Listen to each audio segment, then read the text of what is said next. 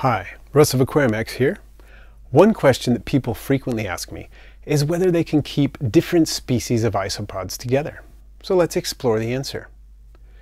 If you've studied some basic ecology, you may remember the mutual exclusion principle, which states that populations of differing species cannot continue to occupy the same ecological niche at the same time. In such a situation, one species will prove to be better adapted to that niche and outcompete the other species over time. Well, the terrestrial isopods in the hobby come from a variety of habitats in the wild, but in a bin or vivarium, unless it's very large with a variety of distinct microhabitats within it, two or more isopod populations of different species are more than likely going to occupy the exact same niche and therefore will be in competition with each other. I first experienced the mutual exclusion principle with isopods firsthand a number of years ago, very early on in my isopod hobby. I set up a bin with some dwarf whites, dwarf purples, Porcellio scaber orange, and perhaps one or two others. I put these species together with the idea of a sort of a backup culture. Over time, the dwarf whites completely outcompeted every other isopod species in that bin. Dwarf whites are probably one of the species most likely to outcompete other isopods. And for an excellent discussion about this, focused on the interactions of dwarf whites with other isopod species, check out this video by Wally at Supreme Gecko. Before I go on, I'd like to thank my patrons at Patreon. I love sharing what I have learned and continue to learn, and your patronage makes so much of it possible. If you'd like to consider helping for as little as a dollar a month, please click the link at the end of this video. Now, back to competition between isopod species. Keep in mind that this process of outcompetition might take a considerable amount of time. When the populations of isopods are still small, relatively little pressure to compete for resources will exist. An observer might be tempted to think that peaceful coexistence has been achieved. As our populations expand, however, the pressure will increase. Let me give you another example from my experience.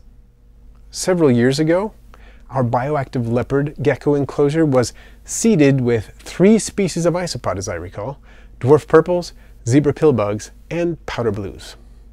I never saw much of the dwarf purples, but they are both tiny and secretive, so I kind of expected that. For about a year and a half, though, the, both the zebras and the powder blues seemed to be doing well. The numbers of both species increased, and I thought I had found a winning combination. But alas, it was not to be.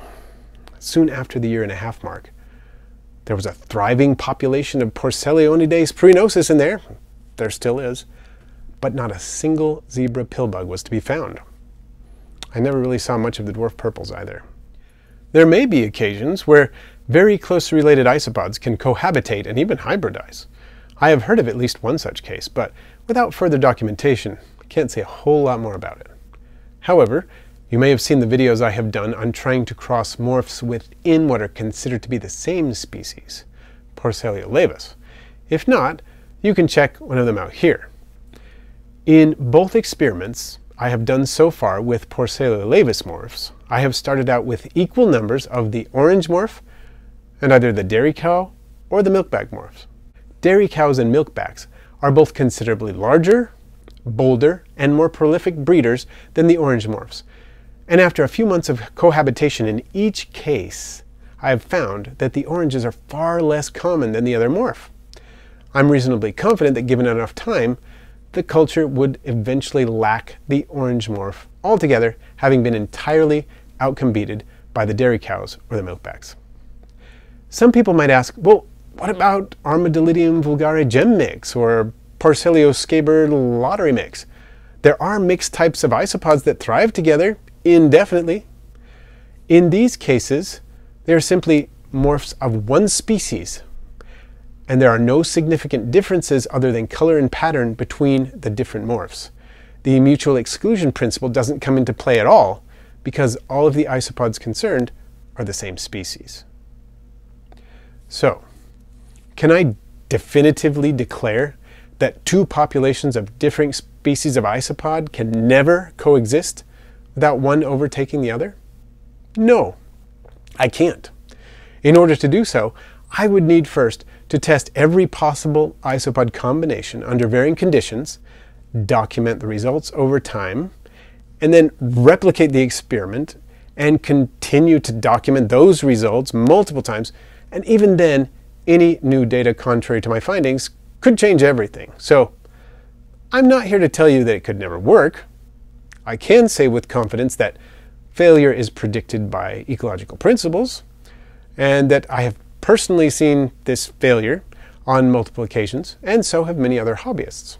However, if you've maintained populations of mixed species of isopods for a significant period of time, say two years or more, I'd love to hear about it.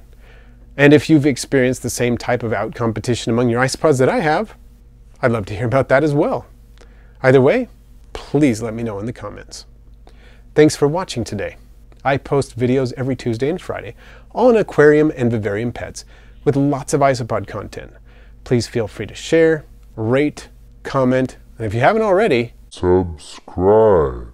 And then tap the bell and choose notifications all so you don't miss my next video.